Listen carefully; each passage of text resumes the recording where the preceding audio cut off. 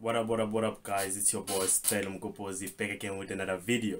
So, in today's video, I'll be basically explaining why I'm studying BCom in information technology management, even though I want to be a software engineer. So, if you're interested in the video topic, stay tuned. Don't forget to hit the like button, subscribe to the channel.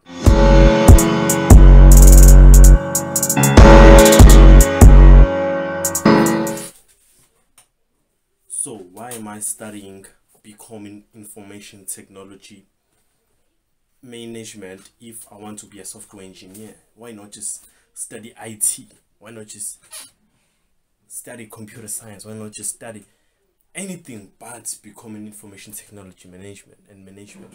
Well, the reasoning behind that is number one, even though right now I want to be a software engineer and I'm going to be a software engineer, I know that in 10 years' time, that might not be the case anymore. I might want to change roles. Sure, I could go from software engineer, maybe uh, still under the software engineer bracket, I guess, but uh, maybe do cloud, maybe transition into cyber security and stuff like that. But I've always had an interest in business, if I may say so. So, BCom information technology and management is perfect for me because I don't see myself being a developer forever. I see myself growing and maybe becoming manager of the IT department. You know, being in charge of everything related to IT. Maybe even CEO, maybe it's even CEO. It doesn't matter. But so, what's the difference between BCom information technology and normal IT? Well, basically, normal IT is focused on IT as a whole. It's just information technology. You have software engineering. You have software engineering, you learn C sharp, you learn networking, you, you do a lot of IT stuff. Whereas in I'm, I'm going to post a, a screenshot of the modules you your typical IT degree or diploma might have versus the module BCom information technology management degree might have. You know, because I know from my from my degree I do a lot of business modules. I only have like two two or three IT related modules and the other modules are more business focused because I remember in my first year uh, I did economics, I did business management, I did accounting, I like did a lot of business stuff, a lot of business related stuff. This year it's a little bit better because I do a lot of IT related stuff and and again, not programming, not a lot of programming. So far this year we haven't learned a whole lot of programming, like zero programming. Only did databases on the previous semester, and currently, and currently we're just doing touching on some IT stuff, and later on we're going to create a web page. Imagine going to create a web page. Like, come on, come on, come on, come on. And already, like, I'm on the side. I'm doing like uh, full stack projects using Laravel and Vue.js. You know, so it's going to be it's going to be fun but basically in BCom in information technology and management and management will you learn a whole lot of business related modules you know because end of the day if you want to be an IT manager you should know you should know programming and software IT stuff and also have the appropriate management skills you know. So will I recommend BCom information by the way guys i'm doing my second year. I don't know why i didn't say this. I'm doing my second year at MANCOSA. So would i recommend studying BCom information technology from someone who wants to be a software engineer? And my answer is no.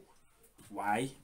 Because i do or i program a lot on my spare time guys. This anything i've ever learned that is related to programming I've learned it on my spare time, to be honest with you. I learned so much especially because even the Java mode, even the like when we learned Java last year on year one when we did Java, I just was like downloaded a video on YouTube, learned the basics, and I was like, okay, I'm set. And even on the exam, like like real programming only accounted maybe for forty percent of the exam, and I was like, what the, you know. So I wouldn't I wouldn't suggest or I wouldn't recommend anyone to study BCom information technology management if their sole intention is to become a software engineer because you'll have to do a lot of learning on your spare time. Do a lot of learning on your spare time, which is what I also do. But if you log in on my Udemy, you'll see a lot of courses, you know, because I learn a lot of stuff on my spare time, and I don't have a problem with that. But some people might have a problem with that, and I believe that's the major con of doing BCom in information technology management versus just doing an IT degree or diploma. Is that in BCom information technology management you won't do a lot of programming. And chances are by the time you graduate you won't you won't be highly skilled in programming. Maybe you'll be good in other areas but you won't be as skilled as you as you might expect an IT graduate to be. You know you might not be as skilled as as your IT like normal traditional IT graduate counterparts. They'll be more skilled than you in software engineering so software development just as a whole. And you and you should be comfortable with that.